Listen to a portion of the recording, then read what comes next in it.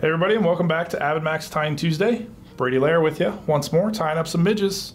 We're doing Phil Iwane's No Mercy midge today. It's a cool little emerging midge. So we head into the winter, things get colder. The midges are going to be your best bet uh, for a lot of, especially your tailwater fisheries, but a lot of different waterways out there. Going to be the most prominent bug, the most active bug, um, and definitely one that fish key in on throughout the season. So this one's a good one to have in your arsenal Simple to tie up, only takes a little bit of time. Let's go ahead and get one going. And so you can see we have one in the vise there, started out. We're gonna throw in our hook here. This is a good old 2487 from Tiemco, distributed by Umpqua. Great midge hook, got a nice curved profile with a down eye.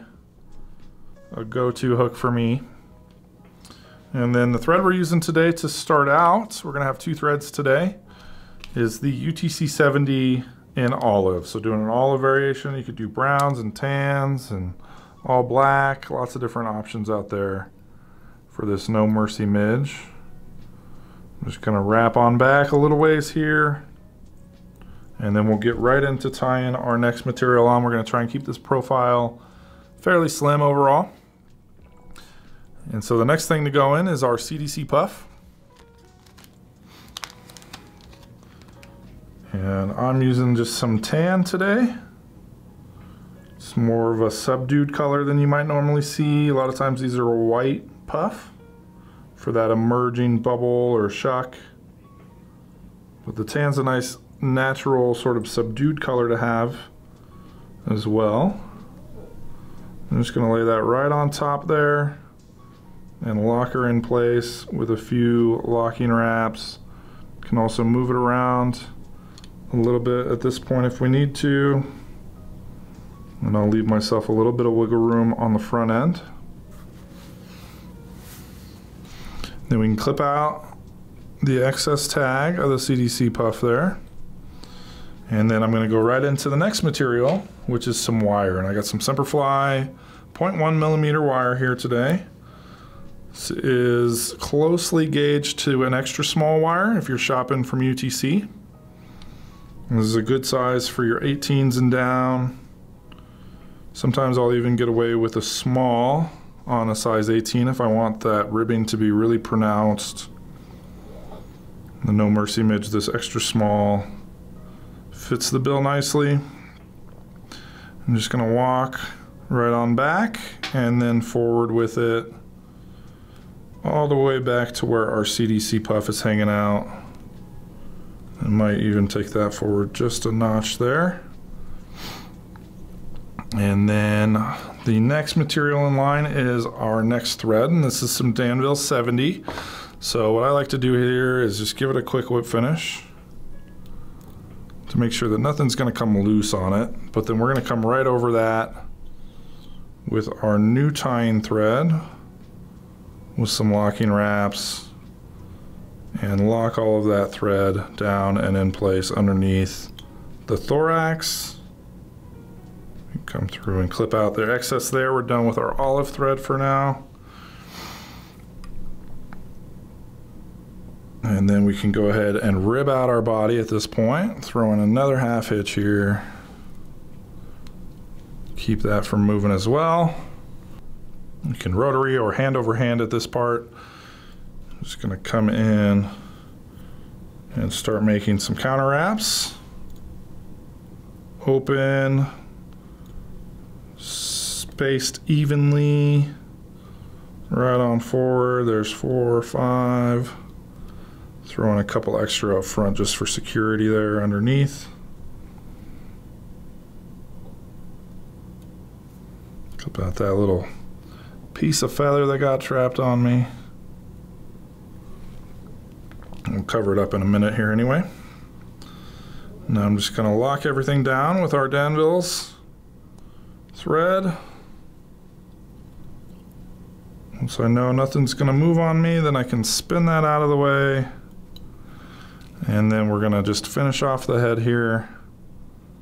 Cover everything up. Clean it a bit. Work on forward, covering all that olive thread. Making a nice bulbous thorax of this bug. And then we can come in and whip finish. And I like to pull my puff back. You do have to leave yourself a little bit of room for this.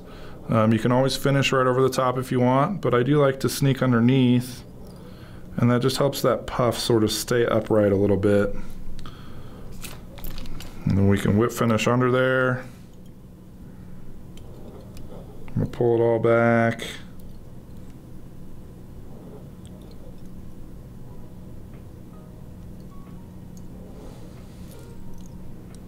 Give her some locking wraps without crowding that eye. And then one final maneuver on this bug. And that's a little bit of UV finish. You can come in with some traditional hardhead if you have that at home, if you're willing to wait. But I have some UV handy here with my nice UV light. So I'm just gonna put a very, very small dab on there. And if you've ever used the Solarez tubes, you know that they tend to get pressurized and sometimes when you open them they might ooze out on you a little bit. So I always like to have a bodkin handy where I can just kind of come in and take a little bit of that and then I can really be very deliberate about where I'm going to put the UV on my fly now. And I'll usually start on the top and then sort of let that soak down and around a little bit, but then having a rotary at this point makes a big difference for me because I can turn the bug and try and get a nice even coating on the fly all the way around.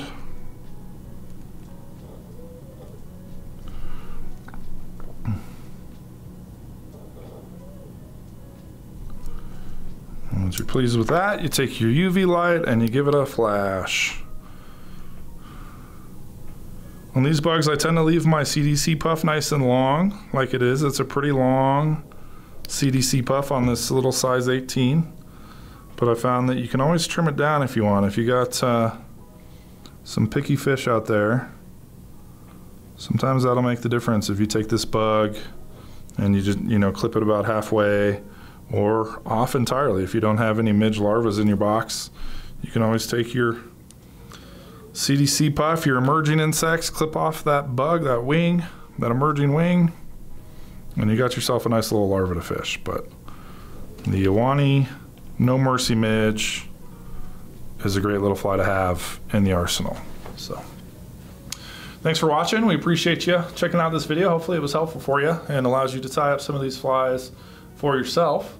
If you did enjoy the video, we appreciate a thumbs up on there. Helps the video uh, reach more people. And then uh, you can check out in the description below. We got all the links to the products that we used here, as well as links to our site with a world of materials, anything you could ever think of available. Um, and most stuff ships same day. So get after it. But uh, all in all, have a good time tying and good luck out on the water. Thanks for watching.